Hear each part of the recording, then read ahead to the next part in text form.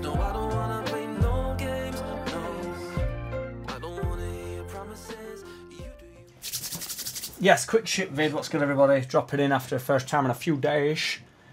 Um, Drinkwater is uh, unanimously been denied, and uh, I agree. I don't know what I was thinking. It's not what I was thinking. I was just having a bit of a laugh. Drinkwater, but uh, well, I won't having a laugh. Well, I were. I wasn't having a laugh. I was just surprised. I forgot. I forgot he existed. I forgot he was alive. I thought he died.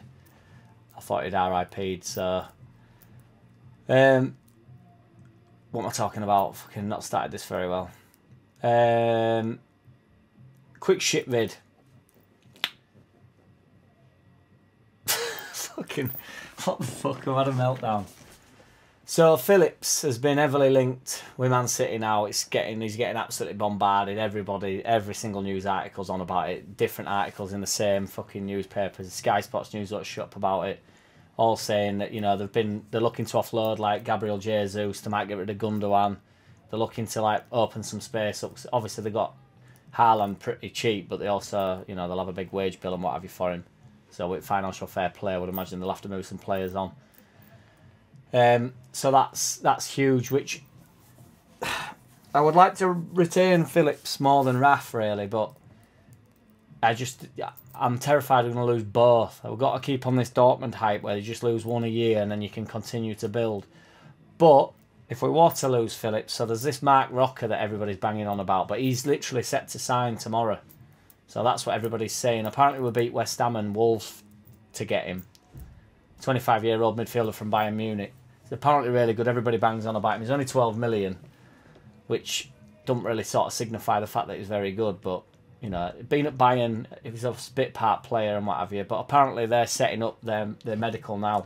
So they're getting on with that. So, um, and then Raphinha apparently, uh, Barca are out at mix now. They're looking for alternatives allegedly.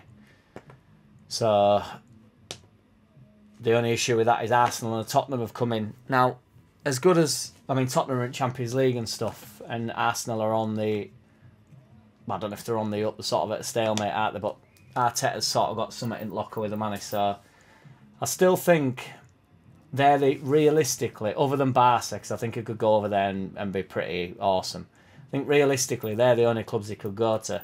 But I can't see Tottenham particularly wanting him. Tottenham seem to be signing quite a few players.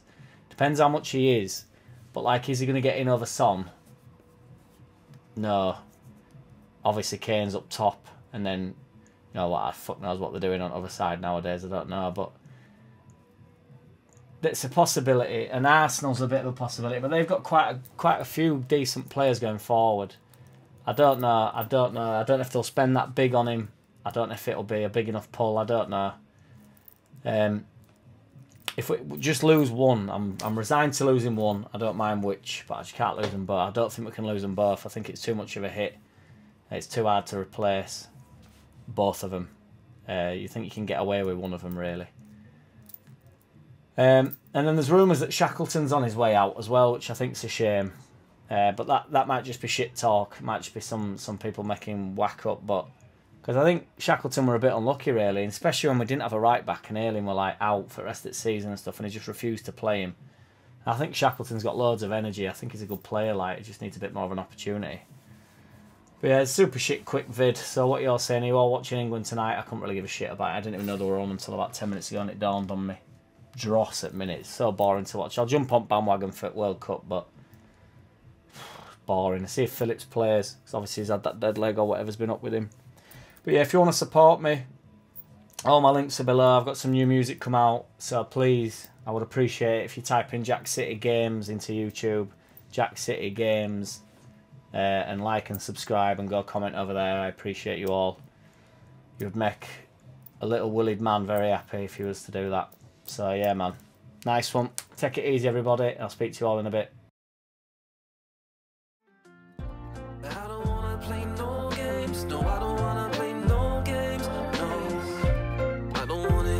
Promises. You do you and do me. That's just the way it is. Don't wanna ever feel surprised. That's why.